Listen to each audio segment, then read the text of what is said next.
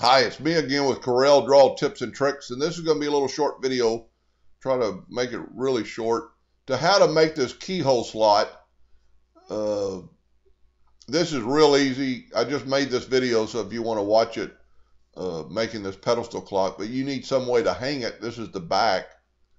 And this is called a keyhole slot because it kind of looks like an old-timey uh, keyhole deal in the door.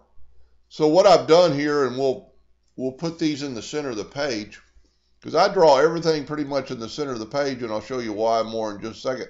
But we've got two shapes here. I've got a nudge factor. I'm going to set it on 0.2 real quick. And I'm going to nudge this up. So I made a rectangle, and I made a circle. The rectangle is about a fifth of an inch across, so that'd be good for a nail. So we're going to do this and leave it like that. We're going to take our rectangle and round off the corners till they get to a round shape. And you can see that last node just disappears.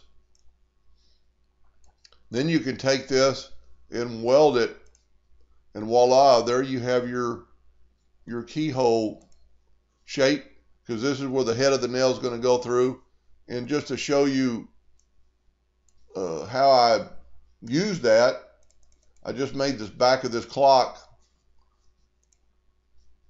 Let's ungroup these. And I that's this is why I draw everything in the center of the page. Because this way you want to put that keyhole slot in the center of the page. And because you want it in the center of that clock, you want it to hang even.